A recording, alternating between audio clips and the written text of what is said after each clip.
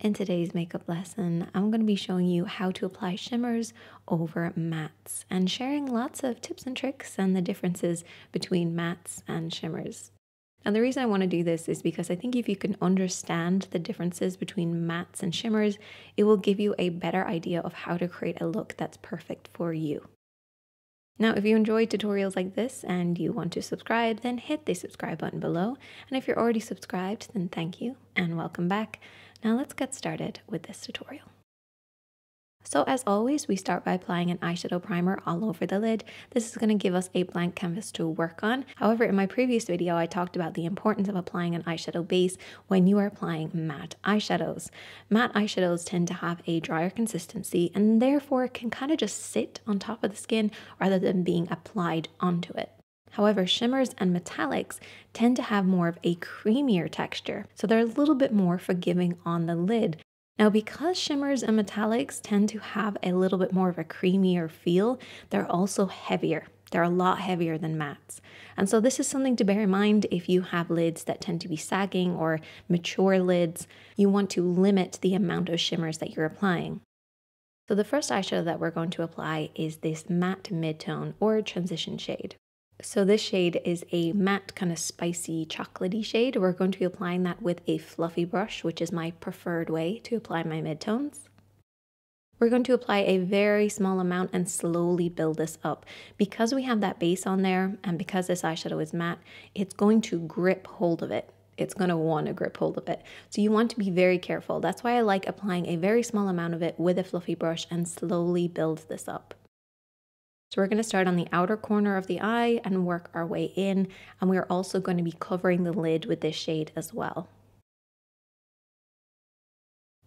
Now, if you find that your eyeshadows blend up too high towards the brows, just bring your hand up a little higher. So instead of having your hand kind of down by your side and sweeping over and back, bring your hand a little higher and then sweep over and back. And this will kind of push the eyeshadows downwards rather than spreading them upwards. It's just something to watch for. If you really like the way someone does eyeshadow, watch for their hand when they're applying eyeshadow. It makes a dramatic difference. It's also a really good idea to keep your eyes open when you're applying this. This will just create the perfect shape for you. So you're getting that hooded area if you had hooded eyes, or you're creating nice halo around the lid as well. Another thing, and I know I'm throwing a lot of things at you, is to watch for your angles. So you want to make sure that your eyeshadow is always working up in an angle using the edge of your nose, eye, and brow. This will create this lifted effect. Now, if you want to bring it outside of your eye shape, that's totally fine, but you just want to make sure that the angle is right for you. We don't want anything to go past this imaginary line that we've created because that will drag the eyes downwards. So keep it nice and high and working up at an angle. Now moving on, I'm going to take the deeper shade. So this is our contour shade, is our darker shade. We're going to again apply that with a fluffy brush starting on the outer corner of the lid. So I'm doing little swirling motions on the outside of the lid and as there's less on the brush now, I can slowly start to work it into about the halfway point. Now I'm focusing this on the lower part of the lid and the crease. We don't want to blend this up too high. It's a mistake that a lot of beginners make. They bring that contour shade up, the deep dark shade, too high. Your midtone is always higher. Even though it's called a midtone, you think it should be like in the middle, it's always higher than your contour. Now, if you want to, you can then take a clean blending brush and just very slightly go around the edges of everything. That's just gonna make sure that we don't have any harsh lines, even though I do end up with harsh lines later, but that was a mistake that I made when I did my brows. But a clean blending brush is your best friend, so always have a clean one with you. And I just want to mention that I have this little damaged area on my lid because some people think that my blending technique isn't great, but it's actually this little bump that I have on my lid. And no matter what I do, it always looks kind of unblended when it's really up close. From far away though, you can't see it. And our lids are so thin that this kind of damage can happen, particularly if you're doing like seven eye makeup looks a day. Moving on, we're going to cut the crease. So cutting the crease is basically applying concealer onto an area of the lid and it basically creates a clean finish for us. And then we can apply an eyeshadow over the top. So I just took this tiny little brush and I'm going to apply it on the inner corner. Then I'm going to look up and then I'm going to cover this area. Now for the mature lid, you might find that this is a little bit too harsh for you. In that case, you can actually just go in with the lighter shade with a flat brush and this will pretty much do the same thing. It just won't be as defined. So once that concealer is on there, I'm then going to take that lighter shade. I'm going to apply this over the top of the concealer, or for the more mature lids who skipped this step, you can just apply this with a very flat brush and really press it over this area. It basically creates the same shape. Now to blend from the light cream shade into the kind of darker shade, I'm going to take a little bit more of my mid-tone. So here it's going to be placed right in the middle, so right where the light meets the dark. And then you should end up with something that looks like this. Now I should have blended a little bit more around my brows. That's my bad. So it's just something to watch out for. Now keeping with that clean look, I'm going to apply a pencil in my waterline that matches my skin tone.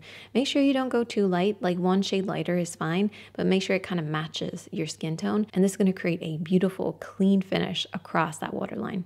It's optional, but I do find it brings this look together. Then using a flat brush, I'm going to take that spicy kind of chocolatey shade and we're going to apply this underneath the lashes. Now, if you find that this brings your eye too far down, you can skip it altogether, or you can really just press it really close to the lashes, or try looking up when you're applying it to make sure that you're not dragging it downwards. And then you should end up with something that looks like this. And we're going to move on to applying the shimmers. Now, because I already have some lashes on and I don't want to get eyeshadow all over my lashes, I'm going to use a bent eyeliner brush. And I'm also going to spray it with a setting spray. This is going to give us a little bit more grip so that we're going to end up with less fallout. Now, for the mature lids, you might want to apply it just as is because if it's wet, it actually makes it heavier, which can drag the eyes down a little bit more. So you might want to skip applying your mascara and your lashes until after you've done this. And I'm taking the lighter shade and applying this on that center point and then to the inner corner this is just gonna catch the light beautifully. We're gonna focus on the lid here. We don't wanna bring it past anything above the lid. So right to that inner corner, and then right to the center of the lid. And then gonna take the more bronzy tone, and this is gonna go over the chocolate, deep chocolate shade on that outer edge. Bring it in to meet the center point. And then I'm going to take the pinky tone and apply just a little bit of this to that inner corner. This is going to brighten up the eyes. And then there you go. That is the difference between mattes and shimmers, how to work with both of them, and just a few little tips and tricks for the mature lids or anybody who just wants to try out a combination of going maybe a little bit more daytime to more evening. I hope that you give this look a try. I'd love to see it. And if you have any questions, as always, you can leave them below. And as I always say, my friends, be kind to yourself, be kind to others, and you are doing the best you can given your circumstances, and that's pretty awesome. And I'm sending you lots of love, and I'll see you in my next one.